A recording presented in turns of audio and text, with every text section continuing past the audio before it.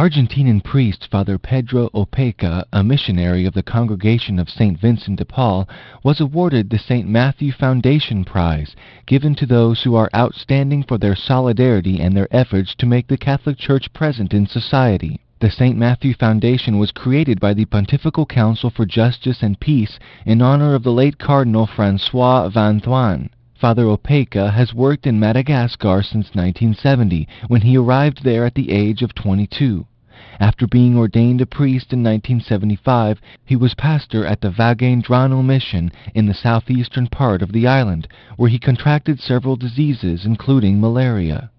At the end of the 1980s, he was rector of the Lazarist Seminary and founded the Akamasoa Association, which creates villages for the poor in the region. During 16 years of intense work, Akamasoa has created five villages for more than 17,000 people. More than 8,000 attend the village's schools, and some 200,000 people have passed through its support center, where they received temporary assistance and guidance on how to redirect their lives.